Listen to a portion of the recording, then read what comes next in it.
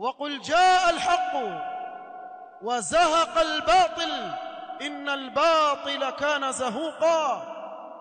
Allah subhanahu wa ta'ala aweka wazi amwambia mtume wake sallallahu alaihi wasallam awaambie kufaru quraish وقل جاء الحق وزهق الباطل جاء الإسلام والتوحيد وزهق الباطل وهو الكفر والشرك.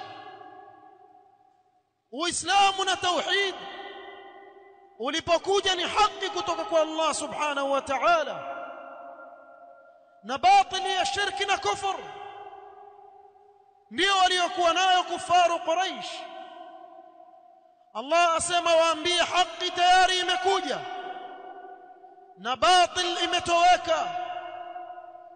Kisha akazungumza maneno mazuri ya kutia moyo innal batila kana zahuqa. Siku zote ndivyo ilivyo.